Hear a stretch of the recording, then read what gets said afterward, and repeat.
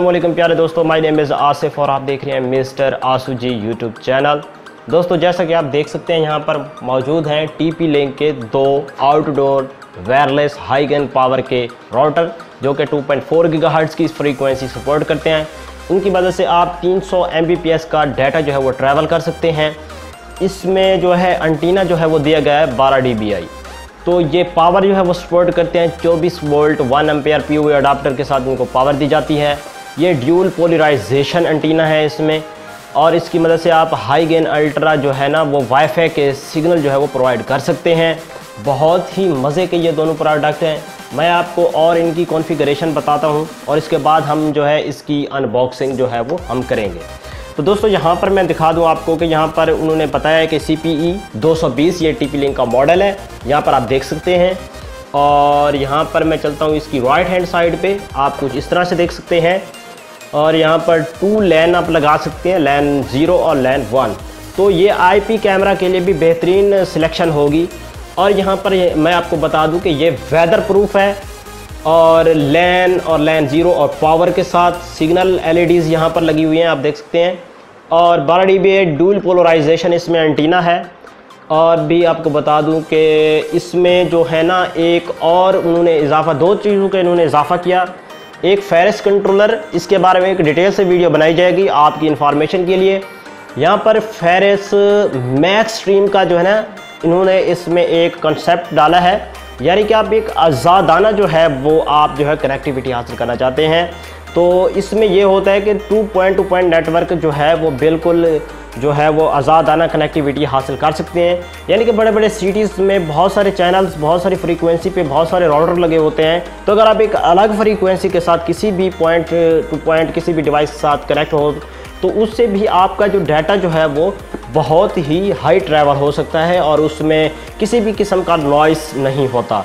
तो जब नॉइस नहीं होगा तो डाटा जो है ना आपका एक जगह से दूसरी जगह जो है, बेहतरीन टाइप से जो है वो ट्रैवल कर पाएगा।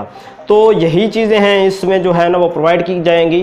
तो बहुत मज़े की ये जो है वो डिवाइस है और स्पेसिफिकेशन भी अनबॉक्सिंग में ही इसकी बता देता हूँ। उसके बाद अनबॉक्सिंग के बाद एक और वीडियो बनाई जाएगी भी, इसकी कॉन्फ़िगरेशन हम कैसे करें। और इसका मैक्स स्ट्रीम कैसे इनेबल करें तो वीडियो में आपको बिल्कुल कंप्लीट स्टेप बाय स्टेप जो है वो वीडियोस बनाऊँगा और इंशाल्लाह आपको जो है वो इसकी कंप्लीट इन्फॉर्मेशन दूँगा। तो फाइनली मैंने दो प्रोडक्ट हासिल किए और देखता हूँ कि इसमें मेरा क्या एक्सपीरियंस है। और मैं इससे वाकई में भी वाईफाई के सिग्नल जो है वो बिल्कुल अच्छी स्ट्रेंथ में जो है वो मैं दे सकता हूँ या फिर नहीं दे सकता हूँ। तो वीडियो में जाकर हम देखते हैं इसकी अनबॉक्सिंग और देखते हैं कि भाई इसमें क्या क्या प्रोवाइड किया जाता है। और नेक्स्ट वीडियो इंशाल्लाह आपको ज़रूर प्रोवाइड की जाएगी कि इसकी कॉन्फ़िगरेशन हम कैसे करें as a point to point हम इसको कैसे कनेक्ट करें। और एक और भी वीडियो बनाई जाएगी कि इसके साथ आई कैमराज को कैसे हम जो है वो कनेक्ट करा सकते हैं। तो चलिए शुरू करते हैं और कर देते हैं इसकी अनबॉक्सिंग